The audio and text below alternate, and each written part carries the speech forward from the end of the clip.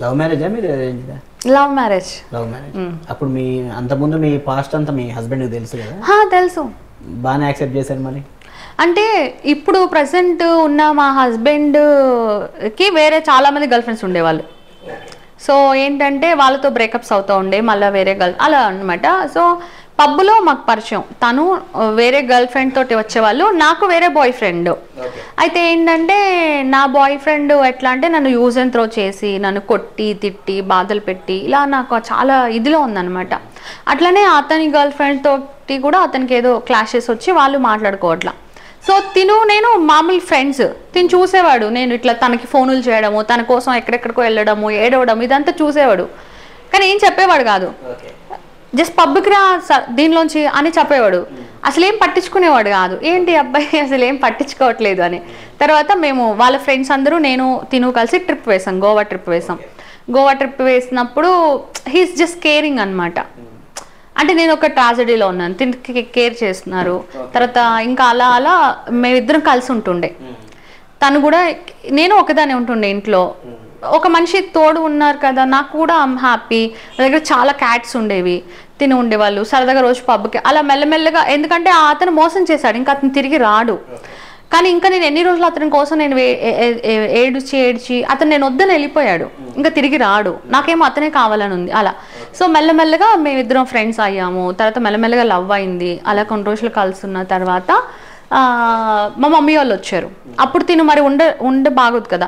నేనేం చేస్తుండే ఉండలేక నేను మేమిద్దరం బయట ఓయే రూమ్లో ఉంటుండే. మమ్మీ వాళ్ళకి ఏం చెప్తుండే ఏదేదో రీజన్స్ చెప్తుండే. అలా కొన్ని రోజులు అయిన తర్వాత మా మమ్మీ వాళ్ళు వెళ్ళిపోయారు. వెళ్ళిపోయిన తర్వాత నేను అన్నాను అనమాట ఇన్ని బాధలు పడ్డాం కదా ఇప్పుడు మా మమ్మీ వాళ్ళు వెళ్ళిపోయారు. మళ్ళీ నువ్వు వచ్చి నాతో పాటు ఉండొచ్చు మన ఇద్దరం హ్యాపీగా ఉండొచ్చు. అంటే తినేమన్నాడంటే మా మమ్మీ ఒప్పుకోవట్లేదు అన్నాడు. అదేంటి అంటే మా మమ్మీ ఎలా? అంటే మరి ఇన్ని రోజులు ఎట్లా ఉన్నావు? అంటే అందరు అబ్బాయిలా? నువ్వు కూడా నన్ను మోసం చేస్తున్నావు కదా? మనం పెళ్ళి చేసుకుందాం.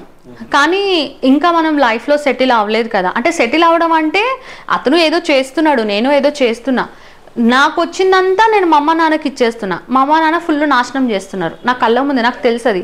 కాకపోతే ఏంటంటే పేరెంట్సే కదా ఉన్నది ఇంత పెద్ద ప్రపంచంలో మనకి బ్లడ్ రిలేషన్ అనేసి నేను కూడా ఉంటున్నా. ఇక నాకు అర్థమైపోయింది. ఈ అబ్బాయి మళ్ళా అవాయిడ్ చేస్తున్నాడు. మళ్ళా అది అంటే అది నేను భరించలేను ఆ ట్రాజడీ అది ఎలా అంటే లవ్ ఫెయిల్యూర్ అయిన వాళ్ళకి అది బాగా తెలుసు. అమ్మో నాకు వద్దు అని చెప్పేసి నేను మిడ్ నైట్ మా మమ్మీ డాడీ ఉంటే కూడా గడపెట్టేసి వెళ్ళేసి ఫుల్ ఏడుపు అనమాట నువ్వు మీ మమ్మీతో చెప్పు మనం పెళ్ళి చేసుకుందాం అది ఇది అంటే రేపు పొద్దున మాట్లాడదాం అన్నాడు. మార్నింగ్ ఏం చేసినా నేను డైరెక్ట్గా మమ్మీ వాళ్ళకి ఏదో షూట్ అని చెప్పేసి వాళ్ళ ఇంటికి వెళ్ళిపోయినా ఎత్తుక్కుంటే. నాకు తెలీదు. వెళ్తే వాళ్ళ మమ్మీ లేరు. అయితే ఇలా మనం పెళ్ళి చేసుకుందాం మీ మమ్మీకి చెప్పు అంటే నువ్వే చెప్పు అనేసి అన్నాడు. ఇది నన్ను చెప్పమంటున్నాడు అని సరే నేను చెప్పా. చెప్తే తనకి ఇంకా అన్నయ్య ఉన్నాడు పెళ్ళి కావాలి. అయినా నువ్వు స్వాతి నాయుడు కదా మేము చెయ్యము అనేది మీరు ఫేమస్ అయ్యారా? మా పెళ్ళి అయ్యి ఫోర్ ఇయర్సే కదా అవుతుంది. సో ఆల్రెడీ నేను అంతకు ముందు అంతా అందరికీ తెలుసు కదా. చెయ్యను అని చెప్పేసి అన్నారు. చేయను అంటే లేదు నాకు నువ్వు కావాలి అంటే తిను కూడా "మ్, సరే ఓకే అన్నాడు. తను మా ఇంటికి వచ్చాడు. మా డాడీ ఏమంటాడు? అలా ఎలా అబ్బాయి వస్తే మనం ఎలా పెళ్ళి చేసేస్తాం? వాళ్ళ వాళ్ళతో మాట్లాడాలి కదా అని మళ్ళా మా మమ్మీ డాడీ మళ్ళా ఇంకో రోజు వాళ్ళ దగ్గరికి వెళ్ళాం. ఇంట్లో లేరు. వాళ్ళ మమ్మీ బట్టల షాప్లో వర్క్ చేస్తారు. అక్కడికి వెళ్ళాం. అక్కడికి వెళ్తే ఆమె ఫుల్ నా మీద ఫైట్ చేస్తున్నారనమాట ఫైట్ చేస్తుంటే తిని నుంచి మీ మమ్మీ అన్ని మాట్లాడుతుంది కదా నన్ను ఏం చెప్పవేంటి? నీకు తెలియదా నేనేంటో? నా షూట్ డిఫరెంట్ నా లైఫ్ ఈజ్ డిఫరెంట్ నువ్వు కావాలని నేను వచ్చాను కదా ఇప్పుడు. అంటే తను చెప్పాడు అలా కదా ఇలా కాదంటే వాళ్ళ మమ్మీ ఒకటే మాట అప్పుడు వాళ్ళ అన్నయ్య స్వామి మాల వేసుకుని రిటర్న్ వస్తున్నారు. నీకు ఆ అమ్మాయి కావాలా? మేం కావాలా? నువ్వు ఆమెను పెళ్ళి చేసుకుంటా అంటే నువ్వు చచ్చిపోయినట్టే. రిలేషన్ కట్ అని చెప్పేసి అన్నారు. అంటే తిను ఏమో చేసుకుంటా అని చెప్పాడు. చెప్తే సరే అయితే మాకు అవసరం లేదు నువ్వు అనేసి అన్నారు. ఇంకా వాళ్ళ ఇంట్లో బట్టలు తీసుకుని మా ఇంటికి వచ్చేసారు. మా ఇంటికి వచ్చేసిన తర్వాత మా డాడీ పెళ్ళి చేయమంటే రెండు నెలలు ఆగండి. మా డాడీ బాధ ఏంటంటే ఈమె సంపాదించిందంతా మాకు ఇస్తుంది. ఇప్పుడు పెళ్ళి అయిపోతుంది. ఇస్తుందో ఇవ్వదో. ఈ ఈయన ఈ టెన్షన్లో ఉన్నాడు మా డాడీ. నా టెన్షన్ ఏంటి? పెళ్ళి అయిపోతే బాగుండు. మళ్ళీ ఈ అబ్బాయి మళ్ళా మనసు మారితే మళ్ళా ఏంటి? మళ్ళా నాకు అది వద్దు. అంటే నేను డే వన్ నా బాయ్ ఫ్రెండ్ నుంచి నేను ఒకటే అనుకున్నా. అతనితోనే ఉండాలి మ్యారేజ్ చేసుకోవాలి పిల్లలు అదే లైఫ్ ఉంచుకున్నా. ఫస్ట్ బాయ్ ఫ్రెండ్ మోసం చేశాడు. అలా అందరు నన్ను మోసం చేశారు తప్ప నేను ఎవరిని వదిలింది లేదు. అలా.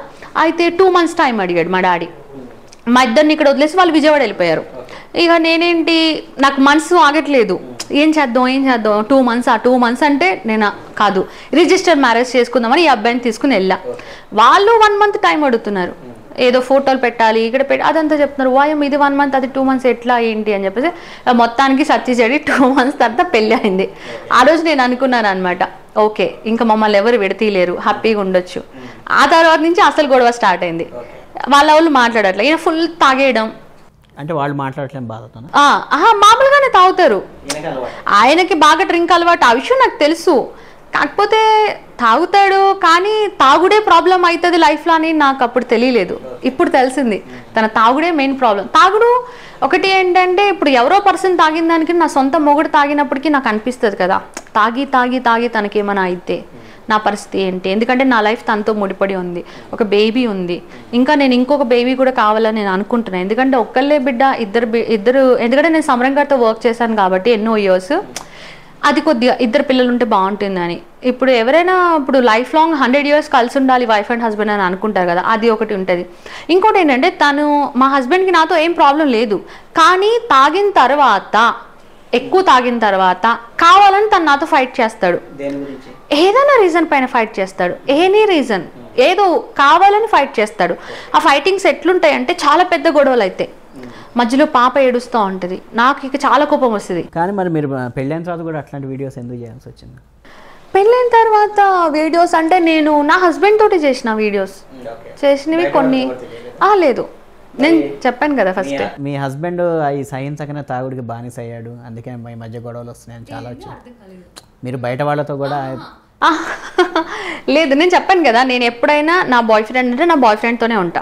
వేరే కాదు. Shoot shoot is different marriage అయిన తర్వాత కూడా మా మ్యారేజ్ కాకముందు కూడా మా హస్బెండ్ నేను ఉంటుండే. మ్యారేజ్ అయిన తర్వాత వేసాను నాకు ఇట్లా ఇంట్రెస్ట్ ఉంది నాకు వీడియోస్ కావాలి. ఓకే తన ఫేస్ రాకుండా కొన్ని వీడియోస్ అట్లా. ఇప్పుడు మీరు పెళ్ళైన తర్వాత ఇక వేరే ఎవరితో మీరు కనెక్షన్ పెట్టుకోలేదా? పెళ్ళి పెళ్ళి కాకముందు అంతకుముందు కూడా లేదు. నా నాతో ఉన్న వాళ్ళతో చేసిన వీడియోసే నేను అప్లోడ్ చేస్తా. కానీ మీరు ఇప్పుడు ఒక ఉమెన్ అయ్యి ఉండి మామూలుగా ఇప్పుడు మీరు యూట్యూబ్ పెట్టి మామూలుగా ఒకవేళ ఎర్న్ చేయాలన్నా మనం ఫేమస్ అవ్వాలన్నా దానికి మామూలుగా హోమ్ బ్లాగ్స్ చేయొచ్చు లేకపోతే కుకింగ్ వీడియోస్ చేయొచ్చు. ఇట్లా చాలా ఉంటాయి. ఇట్లా స్కిన్ షోనే చేసి అంటే మీ క్యారెక్టర్ని మీరు డిగ్రేడ్ చేసుకొని అలా అని కాదు. ఇప్పుడు ఇప్పుడు చూడండి. అంటే నేను ఇప్పుడు ఎవరికి క్వశ్చన్ అడగలేదు మిమ్మల్ని కూడా అడగట్లేదు కానీ ఇప్పుడు ఇప్పుడు పెద్ద పెద్ద వాళ్ళ పేర్లు ఎందుకు కానీ వాళ్ళ వాళ్ళ డాటర్స్ వాళ్ళు ఉన్నారు. వాళ్ళకి ఏం తక్కువ? వాళ్ళకి బోల్డ్ అంత డబ్బు ఉంది వాళ్ళకి చాలా ఇది ఉంది. వాళ్ళు ఎందుకు స్కిన్ షో చేసేలాగా డ్రెస్సెస్ వేసుకుంటారు? స్కిన్ షో చేసేలాగే వీడియోస్ చేస్తారు? ఇలా చేస్తూ ఉంటారు. అంటే ఒక సినిమా అంటే ఒక సినిమాలో స్కిన్ షో చేస్తేనే సినిమా హిట్ అవుతుందా అట్లేం లేదు. అంటే ఇప్పుడు వాళ్ళకి ఏమైనా ప్రాబ్లమ్స్ వచ్చినా వాళ్ళు ఫేస్ చేసుకుంటారు. మరి మీకు ఏదైనా ప్రాబ్లం వస్తే మీరు ఫినాన్షియల్గా కావచ్చు. నాకు ప్రాబ్లం వస్తే ఎవరు ఫేస్ చేస్తారు? నేనే ఫేస్ చేసుకోవాలి కదా. అంతే. అంటే ఇప్పుడు రేపు మీకు ఫ్యూచర్లో పాప ఉంది. తను పెద్దదైంది. రేపు తను కూడా మీలాగా తయారు కాదని ఏముంది? అంటే ఇప్పుడు మీ పాప కూడా మీ వీడియోస్ ఇన్స్పిరేషన్గా తీసుకొని తను అలా తయారైతే మీకు ఇప్పుడు ఒకటి చెప్పనా అండి? లైఫ్ ఏ రోజు ఎలా ఉంటుంది అనేది ఎవరికి తెలీదు. ఇప్పుడు నేను ఇలా చేస్తే పేరెంట్స్ ఏమంటారా? బాయ్ ఫ్రెండ్ ఏమంటాడా? హస్బెండ్ ఏమంటాడా? బేబీ ఏమంటుందా? ఇదంతా కాదు. ఇవన్నీ ఒక రిలేషన్ ఉన్నాయి. కానీ అవన్నీ పక్కన పెడితే నా లైఫ్ నా కెరియర్ నాకు నచ్చినట్టు నేను బతుకుతా. End of the day life అయిపోయిన తర్వాత నాకు ఇలా ఉండే డ్రీమ్ నేను ఇలా చేయలేదు నాకు ఇలా ఉండే ఇలా చేయలేదు అలా బాధపడేది వద్దు. మీ ఇప్పుడు మీ డ్రీమ్ కోసం మీ ఫ్యామిలీ మెంబర్స్ ఎఫెక్ట్ అవ్వడం అనేది కూడా కరెక్ట్ కాదు అలా కాదండి. సి తర్వాత తర్వాత నా పేరెంట్స్ అర్థం చే అంటే వాళ్ళు యాక్సెప్ట్ చేయాలి. దర్ ఇస్ నో వే అట్లా. నా హస్బెండ్ యాక్సెప్ట్ చేయాలి. అట్లనే మా బేబీ కావచ్చు లేదా ఇంకొక బేబీ కూడా దేవుడు దయ మేబీ ఇంకొక బేబీ కావచ్చు. సో ఏంటంటే లవ్ అనేది లవే ఉంటుంది. బట్ నా ప్రొఫెషనల్ అనేది అది అదే ఉంటుంది. దే విల్ యాక్సెప్ట్ అంటే రేపు మీ బేబీ కూడా రేపు మీ ప్రొఫెషన్లోకి వస్తే? అయితే అండి నేనేమంటున్నానంటే ఇప్పుడు ఎవరికి నచ్చినట్టు వాళ్ళు ఉంటారు. నేను చెప్తున్నాను కదా పెద్ద పెద్ద హీరో హీరోయిన్స్ వాళ్ళ డాటర్స్ వాళ్ళు కూడా ఫుల్ కవర్ చేసుకునే బట్టలు ఎవరు వేసుకోరు. ఈవెన్ మూవీస్లో కూడా అలా చేస్తారు. అయితే దాన్నంతా ప్యాషన్ అంటారు మీడియా వాళ్ళందరూ కానీ వాళ్ళు పాన్ వీడియోస్ తీయరు కదా. సరేలేండి వాళ్ళకన్నా ఒక్క మెట్టే కదా నేను ఎక్కువ చేస్తాను. మరి మరి అండి ఇప్పుడు సన్నీ చేసింది. ఆమెకి ఎందుకు తెలుగు ఇండస్ట్రీ వాళ్ళు తీసుకువచ్చి ఆమెకి మెయిన్ రోల్స్ ఇచ్చి ఆమెకి సాంగ్స్ ఇచ్చి అవంతా చేస్తున్నారు కదా. ఆమె అంటే హాలీవుడ్లో చేసింది అక్కడ కల్చర్ అట్లా కాదండి కాదండి. మన ఇండియన్స్ ఎవరు పాన్ చూడరా? చూస్తారు. అందరు చూస్తారు తప్పు లేదు. ఇప్పుడు మరి నేను చేస్తే ఏంటి తప్పు? అంటే మీరు చేస్తే ఇప్పుడు మీరు ఇందాక ఒక మాట అన్నారు నా లైఫ్ నచ్చినట్టు నేను చేస్తా అది నా ఇష్టం అన్నారు. ఓకే మీ లైఫ్ చూడండి కొందరికి కంప్యూటర్ తయారు చేయాలని ఉంటుంది కొందరికి బల్బు తయారు చేయాలని ఉంటుంది. అట్లనే నాకు ఇలా చాలానే ఇంట్రెస్ట్ నేను అనేది ఏంటంటే నా క్వశ్చన్ మీ గురించి కాదు. మీరు ఆల్రెడీ ఒక ప్లాట్ఫామ్లోకి వెళ్ళారు మీరు ఫేమస్ అయ్యారు దాంతో పాపులర్ అయ్యారు అది ఓకే వేరే విషయం. అప్కమింగ్ జనరేషన్ ఇప్పుడు నేనేమంటున్నానంటే ఇప్పుడు మనం ఏదైనా ఒక పని చేసే వాళ్ళని చూద్దాం. వాళ్ళ వాళ్ళ పేరెంట్స్ అదే చేస్తే వీళ్ళు ఇది చేస్తారా కాదు. అలానే వాళ్ళ పిల్లలు అదే చేస్తారా అంటే కాదు. ఇప్పుడు ఇప్పుడు పోలీస్ కావచ్చు లేదంటే మన న్యాయవాది ఏ డాక్టర్ ఎనీథింగ్. అలా ఇప్పుడు ఎవరికి నచ్చిన ప్రొఫెషనల్ వాళ్ళు ఎంచుకుంటారు. సి మా మా డాటర్కి ఏది ఇష్టమో తను అది చేస్తుంది. అంటే ఇప్పుడు మీ డాటర్ దీని గురించి తెలిసి పెద్ద తను మెచ్యూర్ అయ్యి మామూలుగా అంటే ఇది మెంటల్లీ తను మెచ్యూర్డ్ అయ్యి వచ్చి తను ఆలోచించి ఇంత ఇదంతా అంటే ఓకే మీరు చేసింది తను ఆలోచిస్తుంది అంటే ఇప్పుడు స్కూలింగ్లో ఒక విషయం స్కూలింగ్లో తను మీ మదర్ మీ మదర్ అట్లా మీ మదర్ ఇట్లా మీ ఫాదర్ ఇట్లా అని అంటే తను వాళ్ళు రిసీవ్ చేసుకునేంత కెపాసిటీ కానీ ఆలోచించేంత పరిస్థితి కానీ వాళ్ళకు ఉండదు. అయితే ఏంటంటే అండి సొసైటీ గురించి ఆలోచించి వాళ్ళు వీళ్ళు అంటే ఎవరేది చేయరండి. మాటలు చెప్పడానికి ఉంటారు తప్ప ఎవరేది చేయరు. ఇప్పుడు ఎవరైతే చెప్పారని అంటున్నారు కదా ఇప్పుడు నేను ఒక విషయం చెప్పనా మీకు? ఈ ఎవరైతే ఇలాగా పత్తితి మాటలు అందరూ మాట్లాడతారు కదా ఎవరి ఇళ్ళలో హస్బెండ్ లేనప్పుడు వైఫ్స్ ఏం చేస్తారు?